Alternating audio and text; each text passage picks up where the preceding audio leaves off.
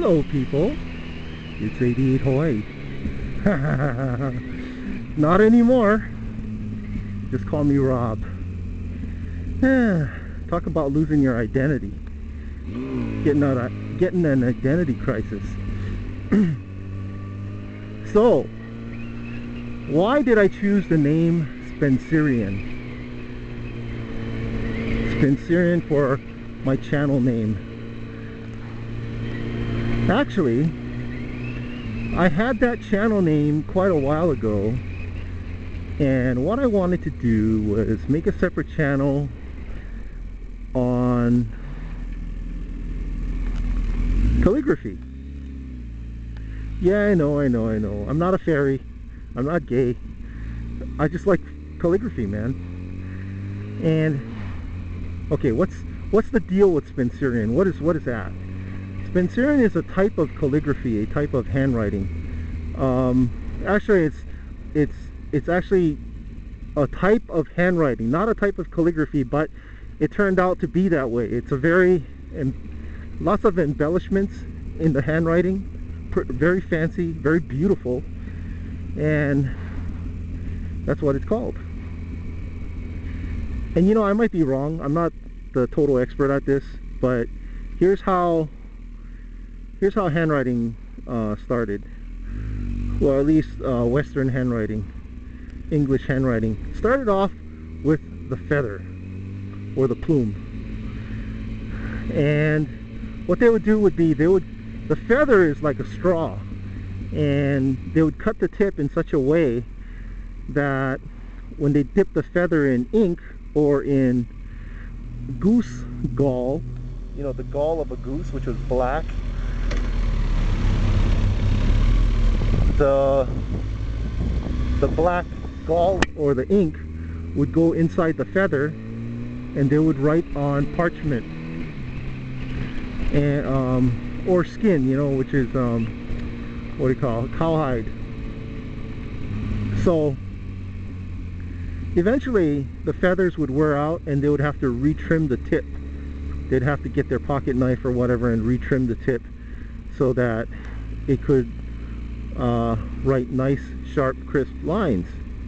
Well, eventually somebody figured out a replacement for the the feather, which was the nib, spelled N-I-B, and they found the they replaced it with a the the nib would be steel, and it would last a lot longer than feather. Feather which was, you know, organic and it, you know, it just, it was just much softer than a steel nib. So the nib would be mounted onto a shaft and so it would mimic the feather and they would dip the pen in ink and then they would write a few words and then dip it again write some more dip it again write some more and that lasted for quite a while the steel nib.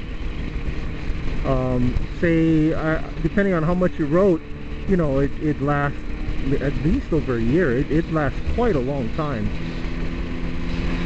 So what Spencerian did was uh, this guy named I'm sorry what Pratt the, the founder of Spencerian writing was Pratt Spencer. And what he found was there was a lot of chaos in the alphabet you know depending on who taught who taught how to write um, they would have a lot of variations in handwriting and the way letters were formed. So he decided hey man enough of this.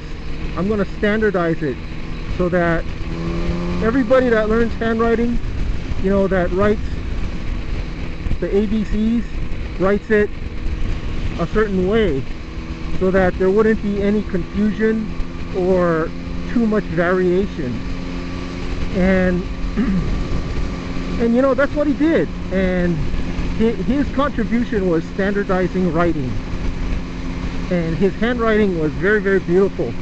It was known um, there's like there's been stories where you know he was challenged like hey you know who do you think you are? You know you're just a you're just a farmer. And what he did was he pulled a reed of grass and he, he, he cut his finger to draw blood and he used that piece of grass and wrote something with it you know. Used that piece of grass and blood and wrote something with it.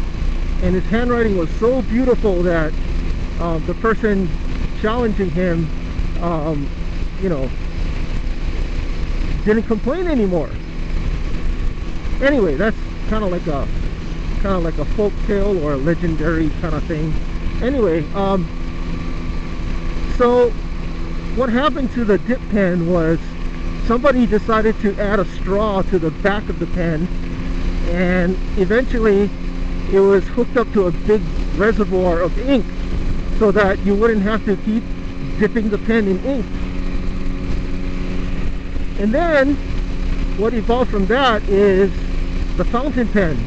Somebody decided to encapsulate the whole pen back and hold a quantity of ink you know to last a to to make it portable to make to make pens portable you could take the pen wherever you went so that you could write with it so from the fountain pen um, I guess the invention next following that was the ballpoint, the ballpoint pen.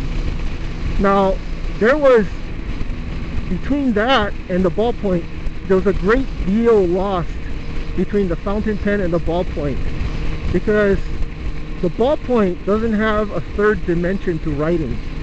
You see, what the ballpoint does is it writes on paper in two dimensions. But what the fountain pen does is it changes the width of the line based on the pressure you push. So the harder you push, the harder you write, the wider your line would be. The lighter you push, the lighter, the thinner the line would be. But not the case with the ballpoint. It, it's just, it's called a monoline. So anyway, um, the reason why Spencerian handwriting is so beautiful is because the thicknesses vary uh, in, in, the, in the letters. Okay, so anyway, I, I just like Spencerian handwriting and, you know, I'm no expert at it. Um, I, in fact, I'm just an amateur. Um, and, but I just like it, you know, and I haven't written for years. I haven't played with, um, you know, a dip pen for years and I'm prob I probably really suck. And, you know, Pat Spencer would just shake his head at my handwriting, but, um, yeah, I like I like Spencerian.